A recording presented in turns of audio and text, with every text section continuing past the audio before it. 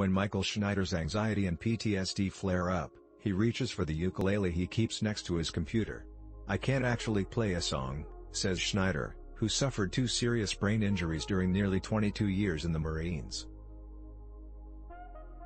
But I can play chords to take my stress level down. It's a technique Schneider learned through Creative Forces, an arts therapy initiative sponsored by the National Endowment for the Arts, in partnership with the Departments of Defense and Veterans Affairs. It's also an example of how arts therapies are increasingly being used to treat brain conditions including PTSD, depression, Parkinson's and Alzheimer's. But most of these treatments, ranging from music to poetry to visual arts, still have not undergone rigorous scientific testing. So artists and brain scientists have launched an initiative called the NeuroArts Blueprint to change that.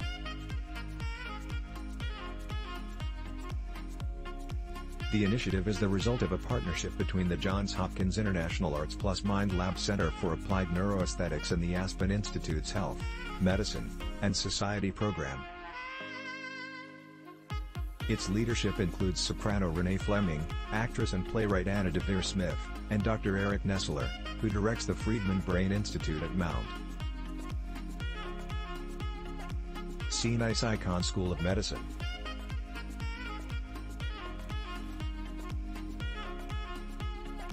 One goal of the NeuroArts initiative is to measure how arts therapies change the brains of people like Schneider. I had a traumatic brain injury when I was involved in a helicopter incident on board a U.S. naval vessel, he explains. That was in 2005. Later that same year, he experienced sudden decompression, the aviator's version of the bends, while training for high-altitude flights. The result was like a stroke. On my right side of my body I lost all feeling, he says. Schneider recovered from both incidents. But they took a toll on his brain.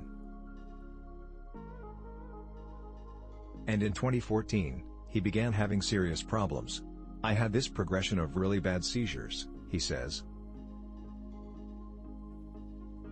At one point I was having 20 to 40 seizures a day.